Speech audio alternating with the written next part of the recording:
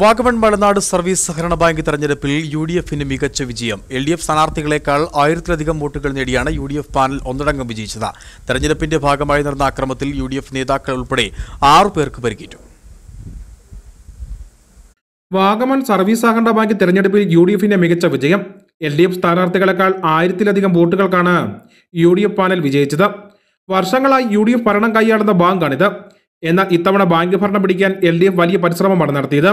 എന്നാൽ വിജയം U D എഫിന് അനുകൂലമാകുകയായിരുന്നു. ദീർഘകാലം ബാങ്ക് പ്രസിഡന്റായിരുന്ന എം ഡി തോമസിന്റെ നിര്യാണത്തിന് ശേഷം നടക്കുന്ന തെരഞ്ഞെടുപ്പ് എന്ന പ്രത്യേകതയും ഇത്തവണയുണ്ടായിരുന്നു നിലവിലുള്ള മുഴുവൻ ഭരണസമിതി അംഗങ്ങളും ഒഴിവായ ശേഷം D C C secretary Cyriac തോമസിന്റെ നേതൃത്വത്തിൽ പുതുമുഖങ്ങളെയാണ് രംഗത്തിറക്കിയത്. എന്നാൽ തിരഞ്ഞെടുപ്പ് നടക്കുന്ന വേളയിൽ ഉണ്ടായ അക്രമത്തിൽ ഇരുപക്ഷത്തുമുള്ള പ്രവർത്തകർക്കും ഒരു പോലീസുകാരനും പരിക്കേറ്റു.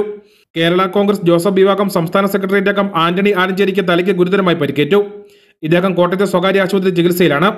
സേവാദൾ ഉപതല മണ്ഡല പ്രസിഡന്റ് സിജോ പാറക്കലിന് കണ്ണിന് പരിക്കേറ്റു. D C C secretary Shaji Painadath R Ganesan എന്നിവർക്കും Peruvanthanam panchayat president Nijini Shamsuddin Congress ward president P R Rajappan എന്നിവർക്കും പരിക്കേറ്റു.